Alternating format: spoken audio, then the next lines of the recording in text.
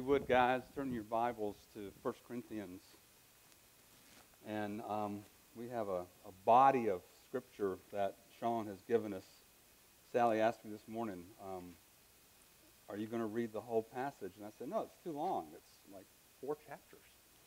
And so uh, we're going to be just reading sections of this as we go through this. But um, uh, you have your handouts that I've prepared for you, so I want to encourage you to uh, pick up a handout. There's more handouts on this table if anybody needs one, so you can have that and take that, and this will be a summary of everything that we're talking about today. Um, you know, as, as we begin to kick into this, uh, on page one, I've given you uh, the Lord's Prayer, and it's good for us to be reminded who we are, and it's good for us to be reminded what God is actually calling us um, to uh, what's what he's actually calling us to engage in. What are, what are those things that we're to be about? And I just want to remind you what, what the Lord's Prayer says Our Father who art in heaven, hallowed be thy name. Thy kingdom come, thy will be done on earth as it is in heaven. Now, gentlemen, I, I love this phrase because this statement is a summary of everything that we ought to be about over the course of our earthly days. That our chief concern is simply this whatever is happening in heaven, that's the very thing that we want to happen on earth. Now, I want you to know at the outset that I actually believe in a sovereign God who sits on a throne in a throne room. I actually believe there is a throne room. I actually believe Jesus is the Lord of history.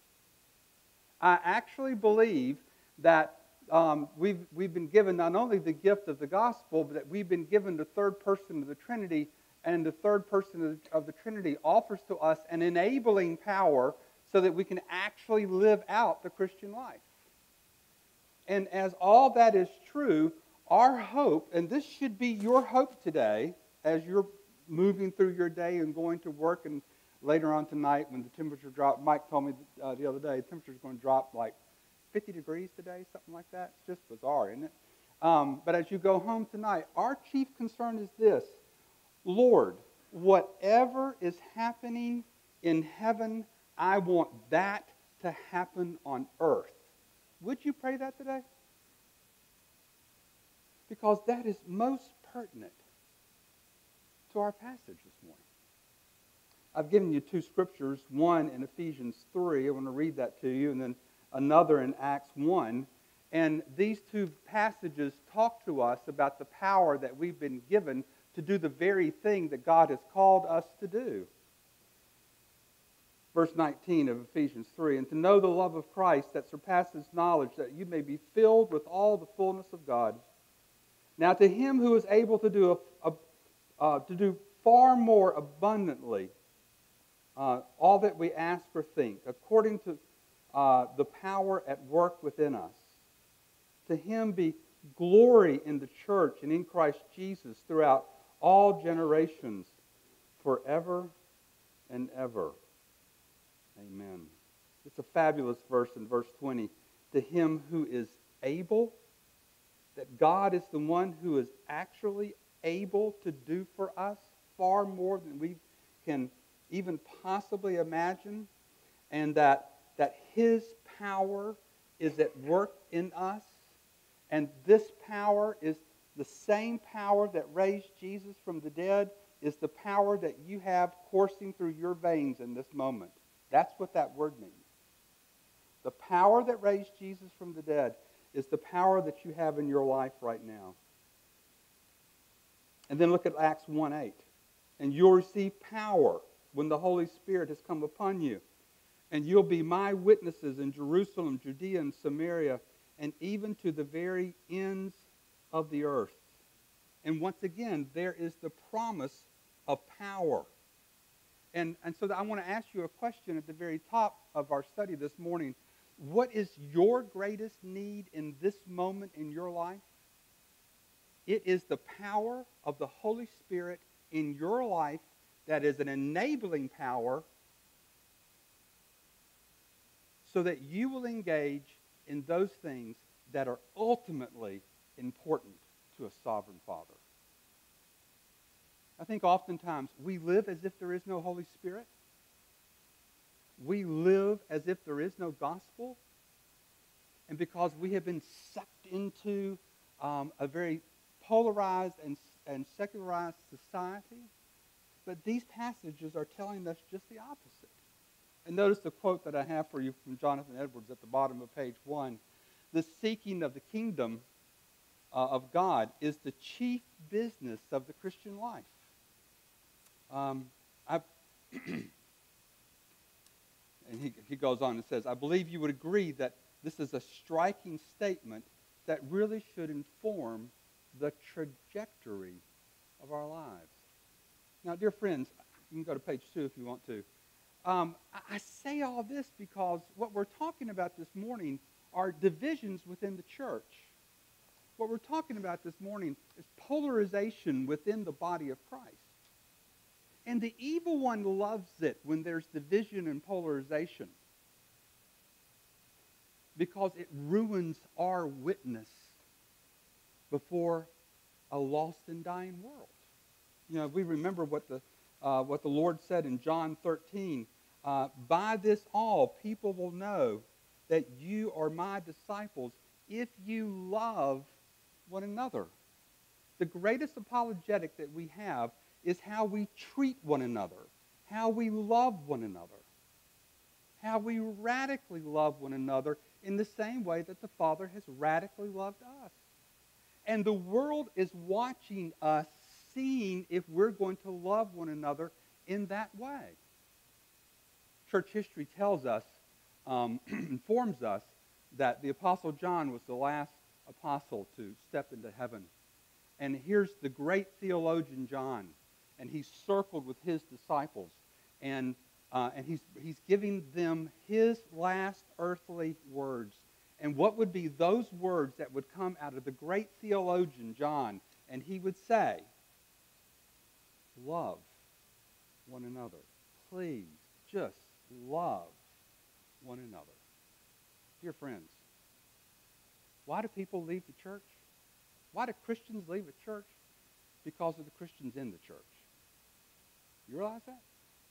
And when that happens, do you realize how we ruin our witness before a lost and dying world? And they look at us and they say, they're no different than we are. Now, in light of that, let's look at several passages and then we're going to dig into what I think is the central theme of these three and a half chapters, which is our union with Christ. We'll talk about our union with Christ just for a moment, and then we're going to flesh out uh, some application. Uh, 1 Corinthians 1 10 through 13 will be the first passage I read, and then 1 Corinthians 3 1 through 4. Follow along with me as I read, would you? 1 Corinthians 1 10 through 13. I appeal to you, brothers, by the name of the Lord Jesus Christ that all, that all of you agree and that there are no divisions among you, and that you, being united in the same mind and the same judgment. For it has been reported to me by Cleo, Cleo's people that there is quarreling among you, my brothers. What I mean is that each of you says, I follow Paul, or I follow Apollos, or I follow Cephas, or I follow Christ. Verse 13. Is Christ divided? You see what's happening in this passage that Paul gives to us? He says, um, he says, I, I appeal to you that there would be no divisions among you. And he continues, he says, I, I want you united in the same mind and in the same judgment. This was a subject that was incredibly important to Paul because of the witness of the church. But then look also in 1 Corinthians 3 1 through 4. 1 Corinthians 3 1 through 4. But I, brothers, could not address you as spiritual people, but as people of the flesh, as infants in Christ. I fed you with milk, not solid food for you were not ready for it. and even now you are uh, not yet ready, for you are still of the flesh. For while there is jealousy and strife among you, are you not of the flesh? And listen to this phrase Are you not of the flesh, behaving only in a human way? For when one says, I follow Paul, and another says, I follow Apollos, Apollos, are you not being merely human? And, and this is setting the, the tone of the church at Corinth. That there was jealousy, there was strife, there was anguish. And, and Paul, in his wisdom, God, and, and as he gives the, the mystery of his revelation, he dedicates a number of chapters because this is so very important for us because the world is watching us and they want to know if Jesus is real. We read about that in, in, in the Gospel of John, where it, it's just repeated over and over again. Um, the world is watching us. They want to see our love. They want to see our unity. They want to see if Jesus is real. And Jesus actually testifies to that very thing, to that very truth. And so the, the premise that I have for you this morning uh, is, is a rather simple one. And, and that is that if we have a proper perspective of who we are in Jesus, and at this point we're talking about our union with Christ, which Paul talks about in this passage. If we have a proper perspective of who we are, then we will not tend towards divisiveness and argumentation when it comes to the body of Christ. But if we don't know who we are, we're fleshly, we're immature, and our tendency is going to be to argue and to fight and to divide the body by saying, I'm Apollos or I'm a Paul. And so, brothers, you're going to have to ask yourselves, as I've wrestled this passage since last Friday, you know, um, do I understand my union with Christ? Do I understand what, what the church is all about? Do I understand that my goal in life, that is whatever's happening in the throne room of, of God, whatever's happening in heaven, I want that to happen here on earth. Is this your chief motive? And that's what I'm going to be talking with us about today. Look in 1 Corinthians 1.30, would you? Because this is a passage that deals with our union in Christ. 1 Corinthians 1.30. And because of him, you are in Christ Jesus, who became to us wisdom from God, righteousness and sanctification and redemption so that as it is written, no, notice the fruit of this. when we are in Christ, uh, we, we, we begin to gain the wisdom of God, the righteousness of God, the sanctification of God, the redemption of God. But notice verse 31. When we are in Christ, we stop boasting. Well, that's not true. We begin to really boast in the Lord. Notice, isn't that what he says? Let the one who boasts boast in the Lord. So, what is this union with Christ? Notice on page three, I've given you a summary of that. Um, and it just talks about our union with Christ. And this is what John Calvin said. Now, remember, we're going to read some verses in just a moment. Um, uh, I love the very thought that Jesus is in me and I am in Jesus. I love the very thought that I am, I am inextricably connected to him. I love the very thought that through the work of the Holy Spirit, and these statements are true of you as well, that his power is flowing through us. We don't live out the Christian life perfectly, but listen to me, we do live out the Christian life powerfully. And that's true because of our union with Christ. And so, what does that mean? John Calvin said this. Uh, union, uh, John Calvin said that union with Christ has the highest degree of importance. If we're going to ever understand our justification correctly, the highest degree of importance. Uh, John Murray said this, where he wrote concerning the union with Christ. It's the central truth of the whole doctrine of salvation. It's not simply a phrase of the application of redemption, it underlines every aspect of redemption. You know, oftentimes, uh, and I'm one of those, uh, I, I, get a magazine called Garden and Gun. Okay, I love, that's just like, the, you know, the quintessential Southern magazine, and it's all about, uh, you know, I'm, I'm a would-be, wannabe, not very good hunter. And so it's all about guns and, and, and recipes and the South, and it's, it's everything that I relate to, right? Because I view myself as a Southern boy. But you know what? I've been in the faith since 1972. I came to faith as a man was preaching through John 3, Nicodemus, what does it mean to be born again? And Nicodemus asking that question, uh, what does it mean to be born again? And I went up to the preacher that night and I said, I don't know what that statement means, but I know I want it. And I came to faith that night.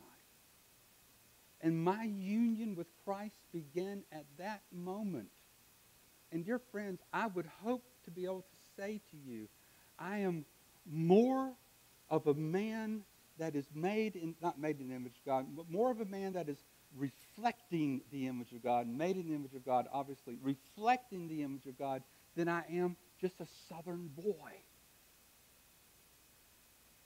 Because when we have Jesus living within us, Jesus begins to change everything about us. You see, our union with Christ underlies every single aspect of redemption. Now let's see if we can illustrate that just for a moment. Notice the next paragraph. The New Testament uses two interchangeable expressions to describe this union with Christ. And, and one is that we are in Christ. And the other is that Christ is in us. So here's my question. Do you know that, Christ, that we are in Christ this morning? 2 Corinthians 5.17. Who has that? Okay, uh, uh, Stephen, stand up and read so everybody can hear you, would you? Sorry.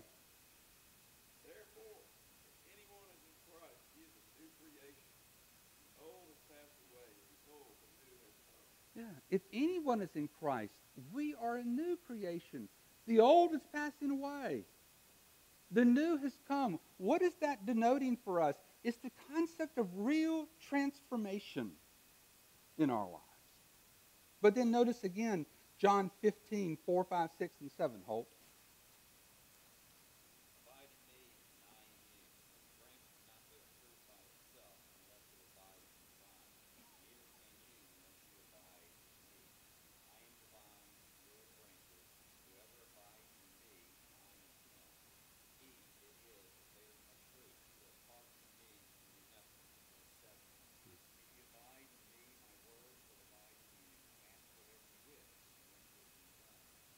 Obviously, this is a passage uh, with um, the vine and the branches, and we are called to abide in Jesus.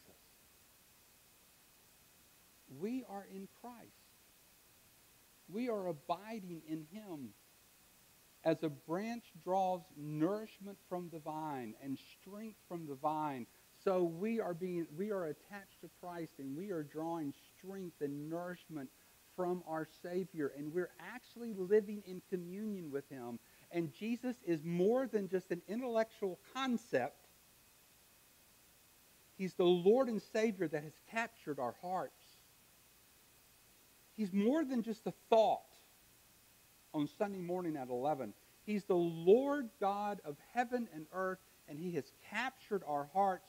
And as He has captured our hearts, we long to capture this earth for Him. You see that? Ideas have consequences for us. And this idea that we are in Christ is one of the most fundamental ideas that you can uh, meditate on and consider all the days of your life. But not only are we in Christ, Christ is in us, Galatians 2.20. Who has that? I have been crucified with Christ, and I no longer live, but Christ lives in me. The life I now live in the body, I live by faith in the Son of God who loved me and gave himself for me.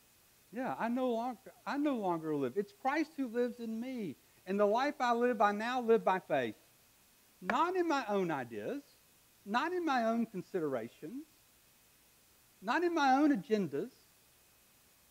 My life is beginning to shift that I want to bring honor and glory to Jesus at all points. Do we do that perfectly? No. But do we do that powerfully? Yes. Ephesians 3.17. Did I give that to somebody? Ralph? So that Christ may dwell in your hearts through faith, that you being rooted and grounded in love. Okay, read it one more time, Ralph, would you? So that Christ may dwell in your hearts through faith, that you being rooted and grounded Yeah. Why does why is Christ in us? Because he wants us to be rooted and grounded in him. What's the source of your identity this morning? Is it that you're just a southern boy? Is it that you're simply a Memphian?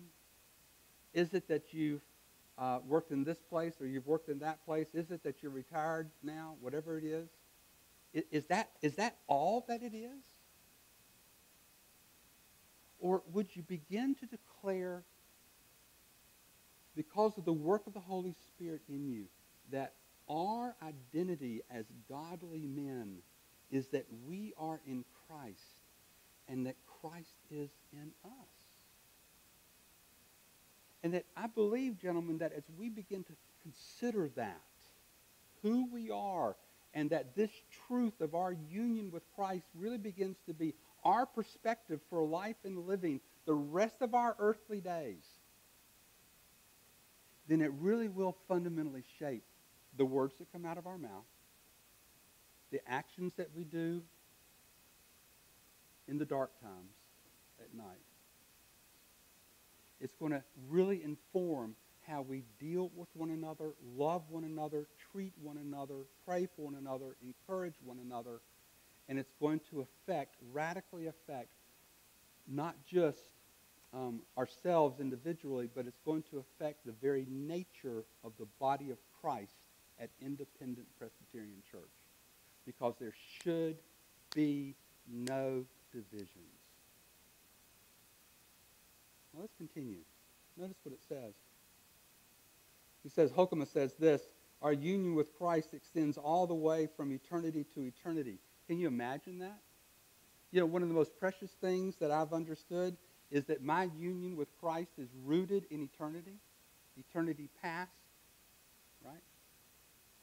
I love the very thought that, and um, of Ephesians 1, where Paul says that uh, before Genesis 1 was ever written, he knew us, he loved us, he chose us that we would be holy and blameless. Before Genesis 1 was ever written, he predestined us in love that we would be conformed to his image. You see, our union with Christ is rooted in divine election, and divine election is just, um, uh, just one, it's, it's a remarkable grace uh, that the Father has given to us. But our union with Christ is also the, the basis of the redemptive work of Christ. And we remember what is what is that's what's the passage in Matthew 121? You will call his name Jesus, for he will save his people from their sins. We remember that passage with Nicodemus. What does it mean to be born again? You know, the, the, our union with Christ is the basis of his redemptive work for us. And then there's one more that our actual union with Christ is established with God's people in time. Let me read these at the bottom of page three for you. What are the eight ways um, that, that the union with Christ, um, let me just back up. uh, under the third point, it shows eight ways that salvation from beginning to end is in Christ. Just listen to these. We are initially united to Christ in our regeneration, that we live out this union through faith, that we are justified in union with Christ, that we are sanctified through our union with Christ. We persevere in life, in the life of faith, in our union with Christ. We are, we are uh, even said to die in Christ. Uh, we shall be raised with Christ. We shall be eternally glorified with Christ. Go to page four, would you? And then Sinclair Ferguson says this that if we are united to Christ, then we are united to Him at all points of His activity on our behalf. Have you ever thought about the ongoing activity of Jesus in your life for your sake? As we are united to Christ and we are united to Him at all points of His activity on our behalf, that we share in His death, we share in His resurrection, we share in His ascension, we share in His heavenly session, and we share in, the, in his promised return. And because of our union with Christ, we have the righteousness of Christ. Ford Williams, a couple of months ago, Ford II, uh, said this that the greatest gift that we have in this life, the greatest gift that we have in this life is the righteousness of Christ in our life. Gentlemen, there is no greater gift that you'll ever receive over the course of your days than the righteousness of Christ in your life. And it's totally a gift. And Tim Keller says this that because it is the righteousness of Christ, what you have in your life, and if I had you individually, I'd ask you individually, but can't do that now because of the group. But, but I would ask this question Do you realize, do you know that you have the moral integrity of Christ in your life right now? Do You know that? It's a gift. You already have the moral integrity of Jesus in your life right now. And we know that from, from the passage in 1 Corinthians 5.17. He who knew, knew no sin became sin for us that we might become the righteousness of God. You see, this is our identity. This is who the Lord is calling us to be. But we don't understand these things until we understand this union with Christ. And that's why this passage in 1 Corinthians 1.30 is so pivotal for us. Just to read it one more time. And because of him, you are in Christ, who became wisdom from God, righteousness and sanctification and redemption, so that if we boast, we boast in a way that does not bring division. We boast in a way that actually brings unity because we boast only of Jesus. And if I'm going to boast of anything, let me boast of Jesus and let me declare that I'm a sinful man in need of the gospel. Now, I'm on page four of your notes. So, consequently, what does this mean for us? And so I, have plucked out four verses in these uh, three and a half chapters that I believe, pivot um, off of our understanding of our union with Christ. And so the first one uh, is 1 Corinthians 1.18. Let me invite you to turn to 1 Corinthians 1.18. And then we're going to be done in about seven minutes, so you have plenty of small group time. 1 Corinthians 1.18. And the word of the cross is folly to those who are perishing. But to us who are being saved, it is the power of God. I love this verse. Um, the, the Corinthians had become enamored. You realize this? Because of Alexander the Great uh, and his military conquest, the Corinthians had become enamored with Greek culture.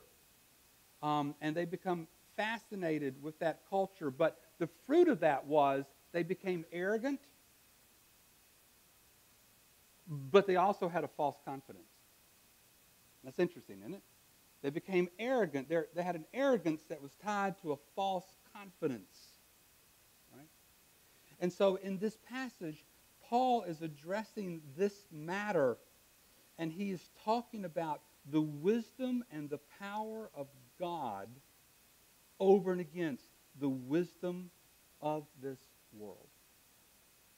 The wisdom and the power of God over and against the wisdom of this world. Now, what is the wisdom of God? The wisdom of God is this. Uh, remember in Ephesians 5, it says, Do not be drunk with wine, which leads to debauchery, but be filled with the Holy Spirit. That word debauchery in the Greek, um, if you've been in my class, you've heard this illustration before. When I was a kid, my dad got a brand new cutlass, right? It was gold with a black vinyl top. It, uh, it was the first, first year of the vinyl top, first year of the eight-track tape player. Yes, Charlie, I'm showing my age, right? And if you know what I'm talking about, you're, you know, William doesn't know these things because you're too young, William, right? But it was, it was a glorious car. Okay, I, I wrecked it. I totaled it the first night. Okay, it was snowing on a, on a mountain road in, in Virginia. I hit a patch of ice. I lost control, and I put his car in the ditch, and I had to call him and tell him. Bucky said, "You said you had one of those too, Bucky." Yeah. Well, we should all get together and have a support group. Any rate, um, I'm not over it yet. But um, but that that word debauchery means this: the inability to gain traction in life. You see, I hit that ice and there was an immediate inability to gain traction in life. And so, how do you gain traction in life? You gain traction through the filling of the Holy Spirit. Do not be drunk with wine, which leads to debauchery, but be filled with the Holy Spirit. And as we are filled with the Holy Spirit, we're praying for the wisdom of God in our lives. And an Old Testament commentator, Von Rad, said this um, Wisdom, the wisdom of God, is competency for life. It's just competency. There's a difference between knowledge and wisdom. Knowledge is factual, wisdom is the proper use of knowledge. And so we want to be wise men. And this passage in verse 18 talks about the word of the cross is folly uh, to those who are perishing, but to us it is the power of God. And that, therefore, as it says in Romans, we are not ashamed of the gospel because we recognize that it is the power of God unto salvation. Now, we don't understand that power till we understand our union with Christ. We don't understand how that power applies to us until we understand how we are inextricably connected to Him. But then, secondly, look at the next verse I have for you and it's actually the verse that we're talking about, who became to us wisdom from God, righteousness, sanctification, and redemption. That Christ is the power of God, that Christ is the wisdom of God. And I, I, I want you to hold on to, to this statement that uh, Pratt has in his uh, study Bible. God's wisdom and power are not abstract forces, but personal qualities that manifest themselves uh, fully in the life, the death, the resurrection of Jesus Christ.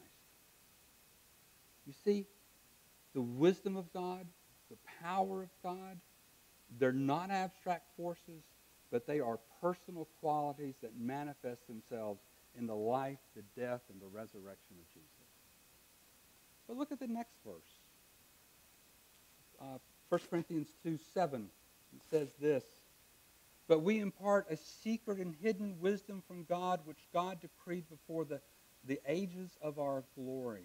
We impart a secret and a hidden wisdom of God, which God decreed before the ages of glory.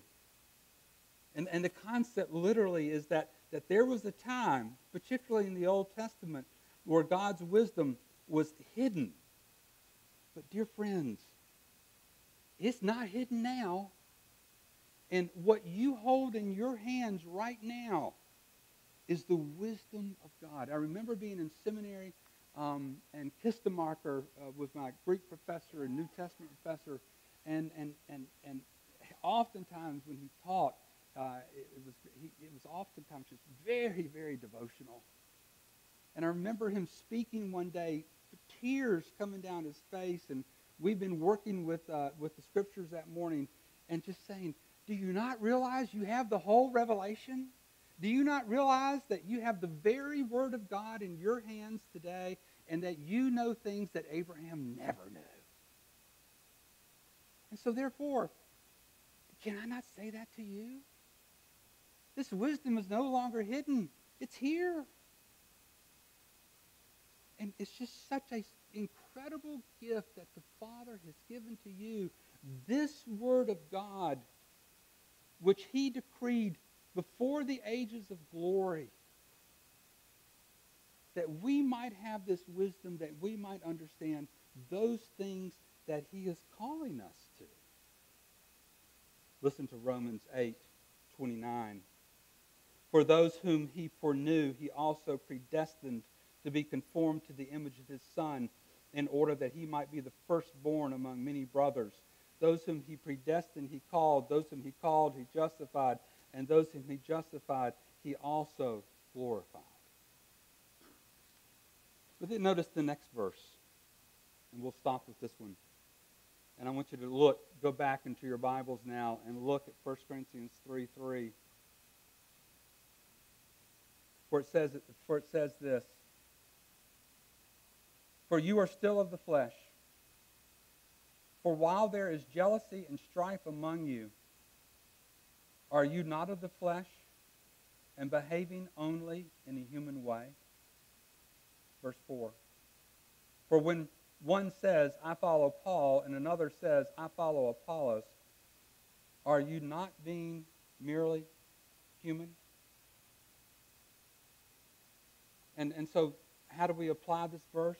As I've already spoken of this just a few moments ago, there's jealousy, there's strife, and, and when there's jealousy and strife in the body of Christ, what you have oftentimes um, is men and women behaving only in a human way. And when that occurs, gentlemen, verse 1 is true of them. Look at verse 1. But I, brothers, could not address you as spiritual people. Can you imagine Paul saying that to you? Can you imagine Paul showing up right now and saying that to any of us? I cannot address you as spiritual people, but I can address you as people of the flesh, and I can address you as infants. Infants in Christ.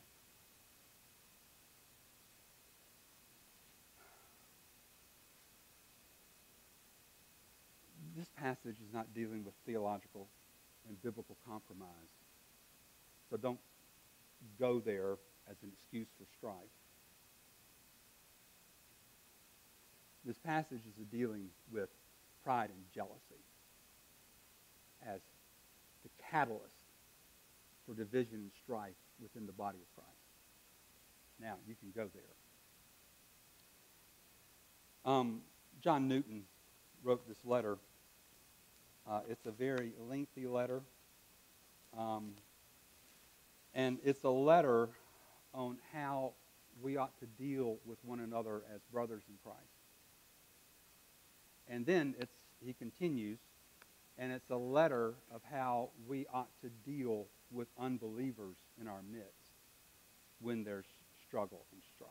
Now, I can't read it because it's four pages. But I'm going to read the, the section where he says, If there's struggle and strife with a brother in Christ, and if he is a believer, this is how you're to deal with him. This is totally pertinent to everything we've talked about this morning. If you count him a believer, though greatly mistaken in the subject of, the, of debate between you, the words of David to Joab concerning Absalom are very applicable. Listen. Deal gently with him for my sake. Think about people that you struggle with now as I read this. The Lord loves him and bears with him. Therefore, you must not despise him, and you must not treat him harshly. The Lord bears with you likewise and expects that you should show tenderness to others from a sense of the great forgiveness that you have experienced through the gospel. In a little while, you will meet him in heaven, and he then will be dearer to you than your nearest friend than you have on earth right now. Anticipate that period in your thoughts. That though you may find it necessary to oppose his errors, view him personally as a kindred soul with whom you are happy in Christ to be with him forever and ever and ever. That's what Paul's talking about, dear friends. Lord God, we, we love your wisdom because it's simply not our way. And when we dig into your wisdom, we want it to be our way. Forgive us for a nearsightedness and forgive us for not casting our eyes upon Jesus, the provider, the author, perfecter of our faith. And Father, uh, I pray for small group discussion now for the next 15 minutes that, um, Lord, that you'll be in the midst of this discussion and that, Lord, we will, that we will not only wrestle with the Scriptures, but in light of the Scriptures, we will wrestle with ourselves. In your Son's name we pray. Amen. Uh, you got about 14 minutes, and uh, I meant to leave you more time, sorry. And uh, just consider the things that, has been, that have been taught this morning, and I hope these words are an encouragement to you.